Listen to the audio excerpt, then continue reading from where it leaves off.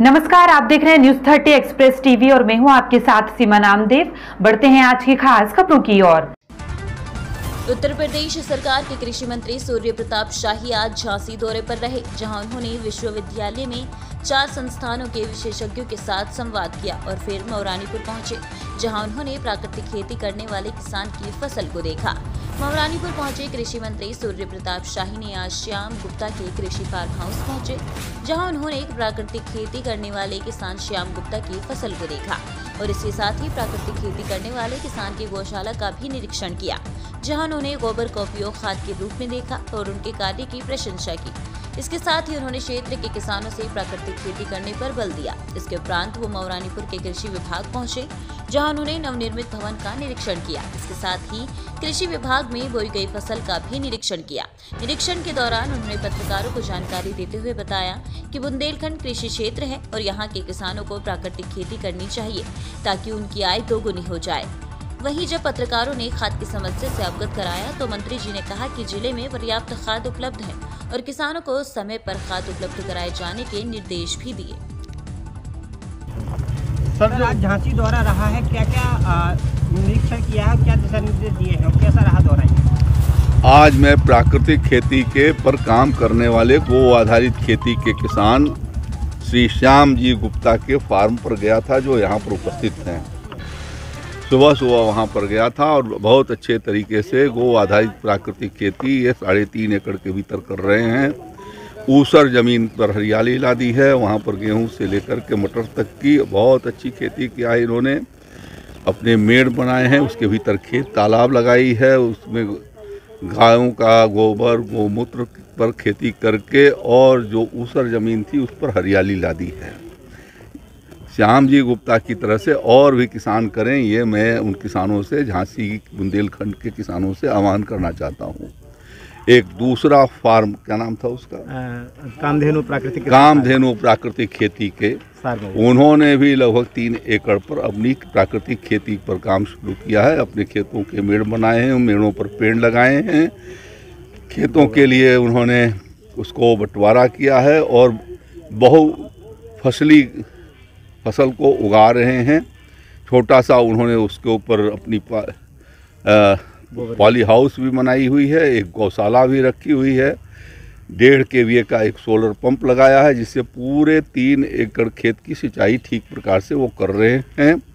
और फलों की खेती भी उसमें कर रहे हैं, आलू की भी खेती उन्होंने लगा रखी है। सारी खेती बहुत अच्छी है, गाय पर आधारित खेती है, आप में से लोग जा कर के उसको देख सकते हैं, उसका भ्रमण कर सकते हैं। माननीय प्रधानमंत्री जी ने प्राकृतिक खेती पर बहुत बल दिया है और मैं बुंदेलखंड के किसान भाइयों से कहना चाहूँगा कि अपने वो गाय का पालन करें और साथ साथ में वो गो आधारित गोबर, गोमूत्र के आधार पर जीवामृत जीवामृत के और नीमास्त्र और घन जीवामृत के आधार पर वो अपने खेती को आगे बढ़ाएँ। उसके बाद झांसी के रानी लक्ष्मीबाई केंद्रीय विश्वविद्यालय के भीतर मैं गया था और वहाँ पर चार संस्थाओं के प्रमुख और वहाँ के कृषि वैज्ञानिकों के साथ बातचीत करके बुंदेलखंड का कैसे उत्पादन और उत्पादकता बढ़ाई जाए और यहाँ के मौसम के अनुकूल फ़सलों को कैसे लगाई जाए, उस पर उनसे बातचीत किया है।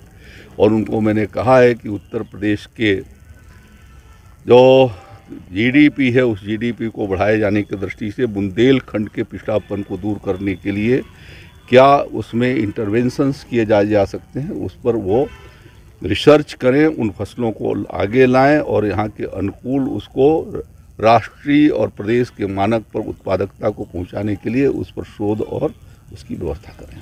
खाद झांसी ज़िले में खाद की बड़ी मारामारी चल रही है। झांसी ज़िले में आज की तारीख में साढ़े सात हज़ार मेट्रिक टन यूरिया है।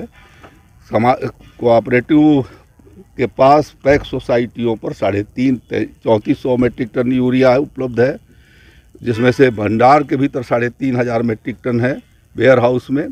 मैंने उनको कहा है कि इसको पर्याप्त मात्रा में निकालें कहीं पर भी फर्टिलाइज़र की कमी नहीं है पर्याप्त मात्रा में यहाँ पर फर्टिलाइज़र है। आपके द्वारा तमाम जगहों पर निरीक्षण किया गया है तो क्या कमियाँ पाएँगे? निरीक्षण नहीं मैं देखता हूँ उसको ठीक करने का प्रयास करता हूँ मेरा काम है ठीक करने की व्यवस्था बनाना। सर यहाँ सर कौन सी फ़सल देख के सर आपको लगा क्षेत्र में कि हाँ यहाँ अच्छी देखिए सब यहाँ की बहुत किसानों को मैं धन्यवाद देना चाहता हूँ कि उन्होंने अपने खेतों में गेहूँ की लाइन स्विंग की है।